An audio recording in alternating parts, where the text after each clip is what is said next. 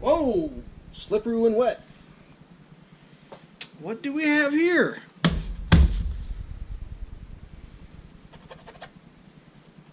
Is that waxed canvas?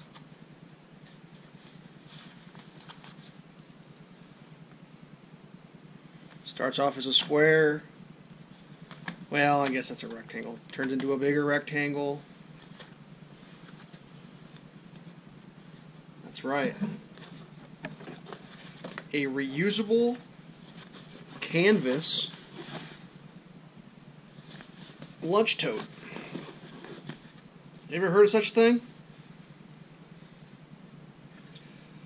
No, I'm not going to say the world's getting ridiculous. I think the world might be getting ridiculous.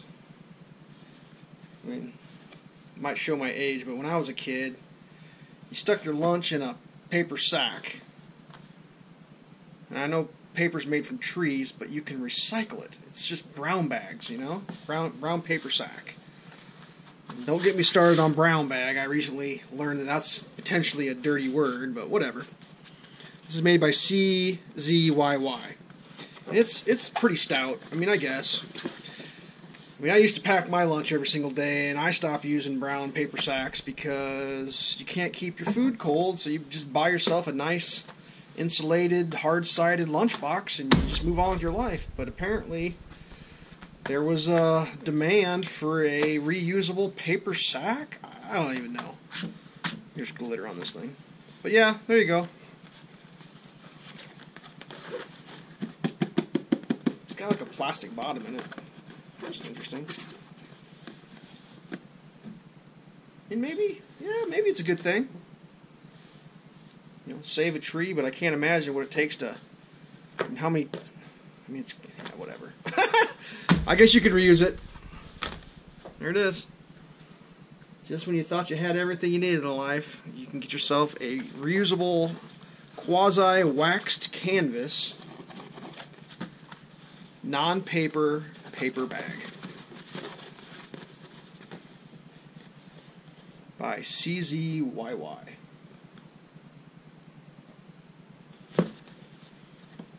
How big is it?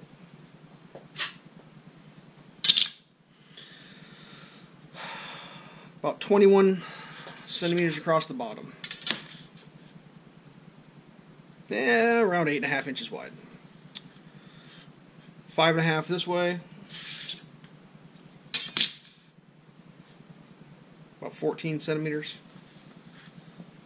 Full height. Roughly 33 ish. 15 centimeters. Full height in inches. Around 13. I don't think it has any magnets or anything. So when you roll it up, it's just. I mean, it's stiff material, so I guess you give it a good roll. I mean, I don't know. I mean, maybe maybe this is a fashion statement. Maybe you roll up into lunch with one of them, and you just you're higher and mightier er, than everybody else. Because like, you got your plastic lunch pail. Well, how dare you, sir, for having a plastic lunch pail? How dare you?